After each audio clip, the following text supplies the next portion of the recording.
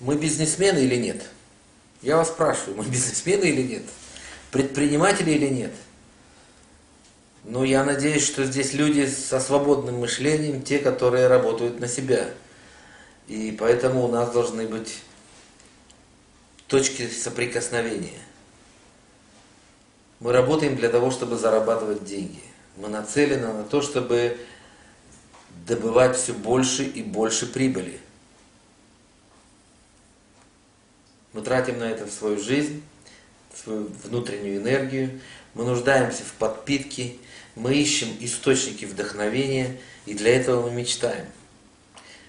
Ставим высокие цели, разжигаем в себе страсть, поддерживаем энтузиазм, мотивируем себя сами, ищем мотивацию в других источниках, в книгах, в тренингах, в примерах, историях других людей. И жизнь идет. Одни делают это более эффективно, с большей погруженностью и более результативно, другие в час по чайной ложке, как говорится. Но в конечном итоге мы, извиняюсь, долбимся за деньги. И тут есть, на мой взгляд, достаточно большая опасность. Серьезный просчет может быть том, что как бы нам не упустить самое важное, потому что самое главное за деньги не покупается. Самое ценное, самое святое в наших жизнях – это нечто более значимое. Это наши дети, их улыбки, их взгляды, их тельца. Это чувство, которое мы испытываем, когда мы видим, как они смеются. Это наши любимые люди, мужья и жены, с которыми мы вместе идем по жизни, деля каждое мгновение. Это наши родители, которые дали нам жизнь и любят нас преданно и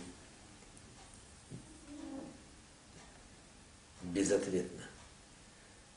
Беззаветно, правильнее будет сказать. Это в конце концов природа, которая нас окружает. Вечер летний, теплый. Звуки, запахи, закаты, море, травинка, гриб, мгновение жизни, которое приносят нам счастье. Путешествия, новые впечатления. Короче говоря, есть вещи, которые не покупаются за деньги, потому что они бесценны. И проблема состоит в том, что в погоне за успехом, за деньгами, за регалиями, за чеками мы не должны забыть самое главное – мы не должны забывать, что мы не должны забывать, что жизнь проходит. Мы не должны допустить такого, чтобы, чтобы в погоне за успехом, который действительно нужен, за деньгами, которые действительно нужны, мы пропустили бы жизнь. Абсолютное большинство людей, абсолютное большинство людей, которые живет по правилам, учатся, получают профессию, долго и трудно – потом карабкаются по ступеням карьерной лестницы или просто работают, пытаясь выжить, продержаться или поддержать какой-то уровень, который они достигли. И так пройдет вся жизнь. Они пропустят миллион мгновений. Они будут вынуждены его пропустить, потому что они в это время будут на работе. Они пропустят я был таким долгие годы. У меня родился сын. Первый раз в жизни. У меня. У меня. Трудно представить. Я вообще не мог представить, что я когда-нибудь буду женат. А уж тем более, что у меня будет сын. И когда пришло сообщение о том, что у меня должен быть сын, когда я видел, как моя жена наполнялась моим сыном, и осталось каких-то несколько дней, я должен был уходить в море.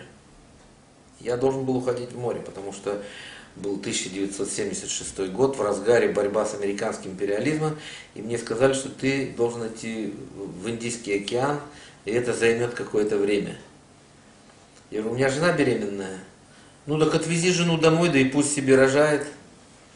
Что я и сделал. Я посадил ее в самолет и из Крыма отвез ее за Байкал. И мне дали 10 дней, и я надеялся, что за эти 10 дней я увижу своего ребенка. Но, к сожалению, этого не случилось, и я улетел обратно, ушел в море, и потом я получил известие, что у меня родился сын. И все эти месяцы долгие, это произошло в январе, в конце января у меня родился сын, а в апреле месяце мы зашли в порт Коломбо в государстве Шри-Ланка, из посольства принесли почту, и мне дали письмо, и там была такая малюсенькая фотография, и я увидел, что у меня действительно родился сын. И когда я вернулся, ему было 9 месяцев, и он уже начал ходить. Я пропустил все, что может пропустить отец. Я пропустил это все. И никогда возврата не будет уже. И сколько я, как и многие миллионы людей, пропустили бесценных мгновений жизни. Я вынужден был обкрадывать себя. Тогда было такое время. А сегодня каждый может быть свободным.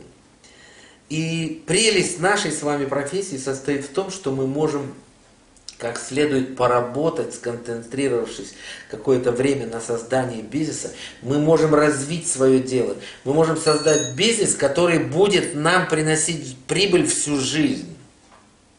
Для этого надо запустить механизм, создать его, а потом наслаждаться жизнью. Нам не, не, не надо по правилам 40 лет ходить на работу, чтобы потом на пенсии точно так же выживать, потому что пенсия жалко. Нам не надо воровать или идти на нарушение закона, чтобы хоть как-то прорваться в этой жизни. Нам можно оставаться честными, честными людьми, но развить свой бизнес, а потом оставаться свободным.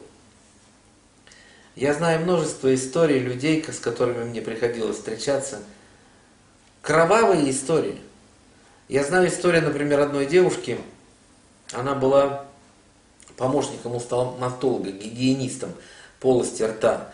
Она закончила там э, массу учебных заведений и помогала, короче, медсестра у стоматолога. Влюбилась в молодого человека, они вместе уехали в другую страну, и там он ее бросил. Без денег, без документов, без, без всего. Без всего. У нее ничего не было. Она, она была обманута, она потеряла работу, она была э, без денег, она была обманута мужчиной. Она, короче, она, она была в полнейшем ауте. В полнейшем.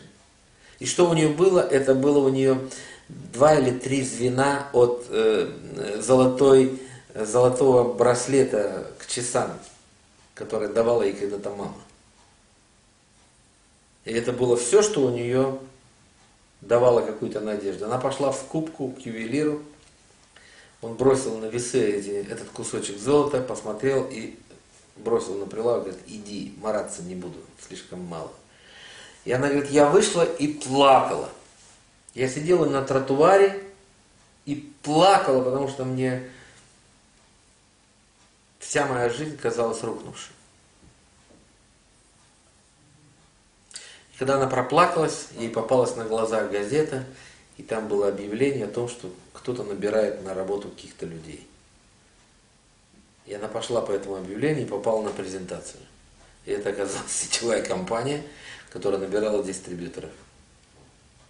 Я не знаю, каким образом она покупала дистрибьюторский набор, но она его купила, и она стала дистрибьютором. Маленькая, хрупкая, молодая, неопытная девушка.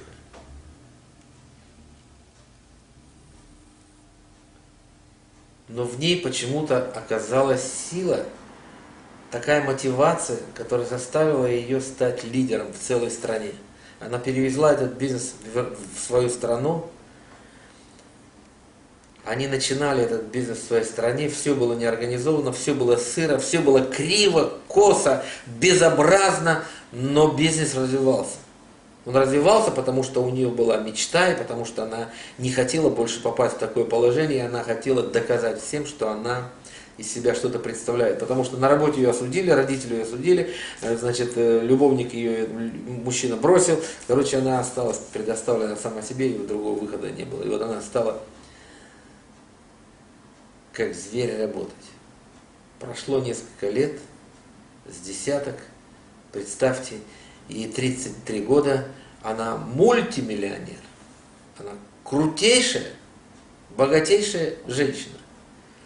И вся ее последующая жизнь состоит из того, что она получила, получила и время, и деньги. У нее есть деньги, у нее есть стабильность, у нее есть будущее, у нее есть гарантированный растущий доход, даже если она не работает. И у нее есть время наслаждаться этой жизнью.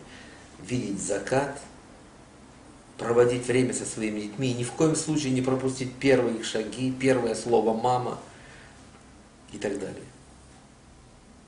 И она передает этот стиль жизни всем близким.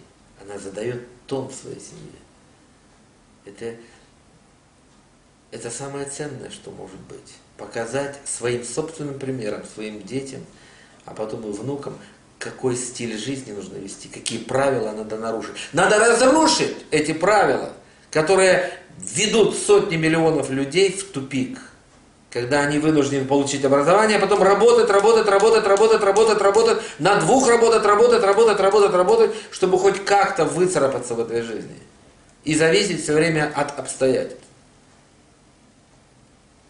Наш бизнес дает, дает, дает нам шанс, нарушив всякие правила, создать себе богатство из времени – и денег, чтобы сохранить себе и стиль жизни с точки зрения наполнения его материальными вещами, как прекрасно пользоваться вещами, которые сделаны с любовью, в которые вложено много денег и усилий, когда они эксклюзивны, когда ты берешь руль, а он из кожи, и, и, и рука ощущает каждую секунду, что ты, что ты ценный человек, раз имеешь такие вещи. Как прекрасно иметь время для того, чтобы проводить его в свободе и не думать о, о хлебе насущном. Так что нарушим правила. И быстро будем строить бизнес, который принесет нам новую жизнь, новый стиль. И будем его демонстрировать другим, чтобы помочь им. Вперед, удачи!